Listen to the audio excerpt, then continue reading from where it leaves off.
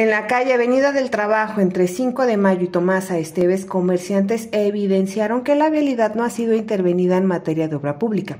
La superficie comienza a tener sus baches por el paso constante de unidades. Los comerciantes no evitaron hacer la comparación de la calle 5 de Mayo, que recientemente fue atendida por hundimientos.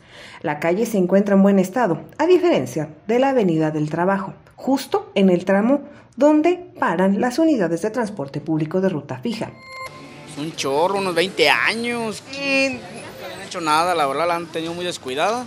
Sí, es lo mismo, de hecho se les va mucho el agua para allá enfrente a mis vecinos. Hace falta una coladera.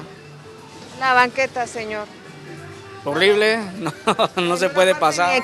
Además, los vecinos de esta calle señalaron que las banquetas de ambos lados parecen una oblea, derivado de lo delgada que está y que es complicado pasar caminando. Solicitaron a la autoridad atender esta calle, así como se están atendiendo otras calles de la ciudad, ya que se está aplicando asfalto o se está atendiendo los reportes de la ciudadanía en otras zonas. Solicitaron lo mismo para este tramo.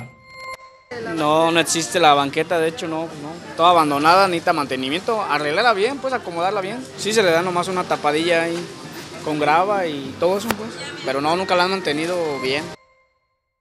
Mega Noticias.